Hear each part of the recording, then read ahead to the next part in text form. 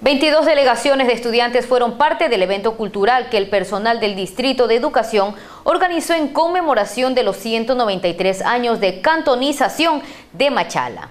Grupos de danza, teatro, cantos, entre otros, fueron parte de la diversidad cultural que amenizaron el festival cultural denominado Machala Educación que desarrolló el Distrito de Educación de Machala para celebrar los 193 años de vida cantonal. Cerca de 21 delegaciones de estudiantes, grupos de danza, tenemos música, cantantes, eh, un poco de teatro, entonces es un poco de diversidad eh, cultural para, vuelvo repito, con esto eh, formar parte de alguna de las actividades que realizaremos o desarrollaremos el día de hoy, mañana y el día domingo por los 193 años de cantonización de Machala. El festival se realizará durante este viernes, sábado y domingo, donde los artistas propiamente estudiantes de diferentes instituciones educativas a través de sus intervenciones harán recuentos de la cultura ancestral de los orenses. Son buenas parte de nuestra cultura, parte también de, de las actividades que realizan eh, nuestras instituciones educativas y que creemos siempre es importante recalcarlas. Se informó a nuestro medio de comunicación que para el desfile cívico estudiantil 21 instituciones educativas con sus delegaciones recorrerán las principales calles de Machala para honrar a la ciudad en su aniversario.